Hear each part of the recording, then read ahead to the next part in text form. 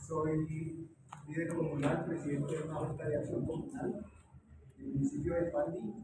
De hecho, conozco la vereda que la compañera menciona ya, Guatimbore, el municipio de Conoce, también conozco la vía incluso para llegar a su vereda. Eso es claro, es una problemática que tenemos a nivel nacional, las vías terciarias. Y bueno, lo que decía inicialmente, también la corrupción que existe actualmente que la corrupción ha venido eh, eh, impregnada desde arriba hasta abajo. Entonces ya digamos como nosotros como parte de esa sociedad ya, ya, ya tenemos incrustada nosotros la corrupción.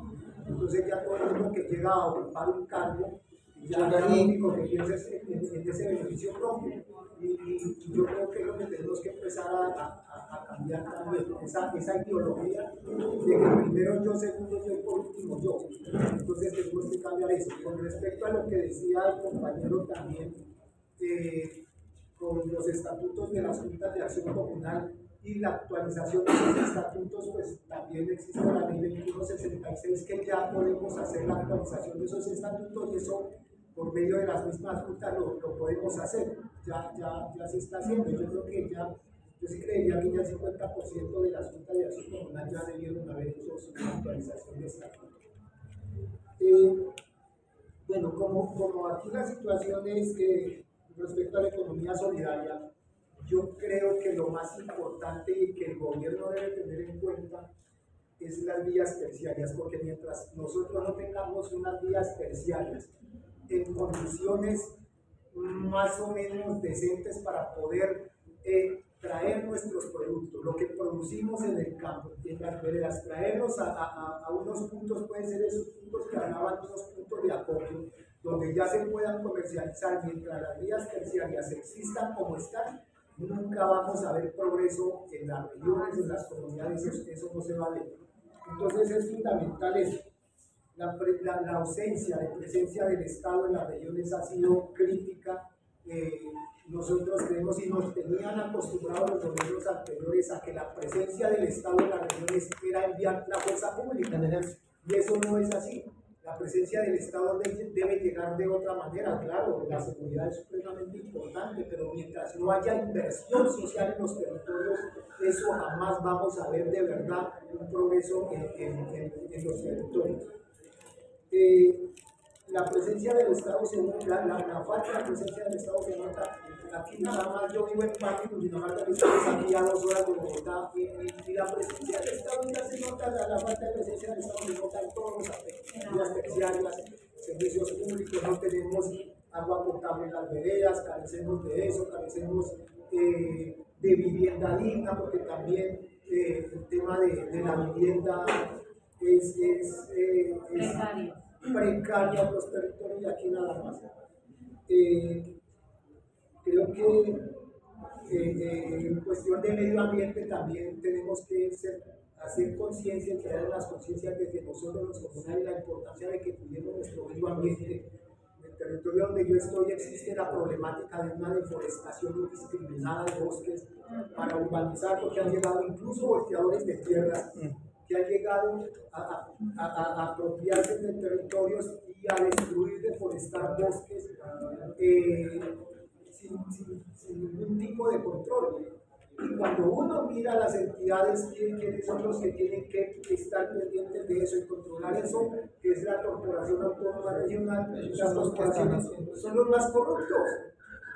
Entonces tenemos que tener cuenta, tenemos que tener presente eso, que tenemos que estar pendientes de que, de que, que esas instituciones, de esos organismos que regulan eso y vigilan eso, pues, son lo más corruptos. Entonces, estamos también eh, eso. Yo creo que una de las cosas importantes es inversión social en los territorios, eh, llevando, por ejemplo, aparte de que las vías terciarias son fatales, también la conectividad, porque si nosotros tampoco tenemos conectividad en los territorios, la educación va a ser muy, muy complicada. Aparte de que la educación en los, municipios es de muy baja calidad, pues si no tenemos conectividad, pues peor.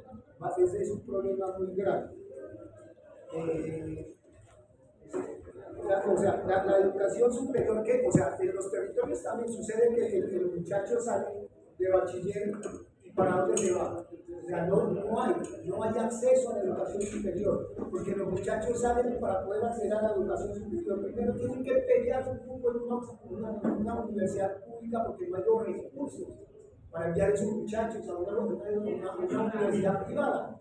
Y la universidad pública más cercana le queda tres horas para llegar allá. Entonces, si no hay recursos, no hay, no hay cómo pagar un transporte. Adicional a eso, no todo el mundo tiene acceso a eso, tiene que pasar por una serie de, de, de pruebas, seguramente por la, por la baja calidad de la educación en, los municipios, en los territorios, pues no va a lograr, y lo que decía un compañero, no va a poder. O sea, y en el primer semestre se van a explotar y no van a poder continuar. Entonces, es eso. Yo creo que los recursos deben llegar a los territorios y las juntas de acción comunal deben ser también ese, ese organismo que capte esos recursos y los pueda trabajar, los pueda manejar. Yo con eso estoy muy de acuerdo con el gobierno nacional con que se haga eso. Pero para eso necesitamos también capacitación nosotros como comunidad. Si nosotros no nos capacitamos, primero no vamos a poder competir con esos grandes empresarios y los contratistas que siempre han estado allá. Entonces nos van a poder y nos van a manejar. Si nosotros no nos, no nos capacitamos en, en, el manejo, eso sería importante que nosotros al menos capacitaciones en contratación con el Estado para que podamos tener algo de acceso a eso. Eso es, es, eso.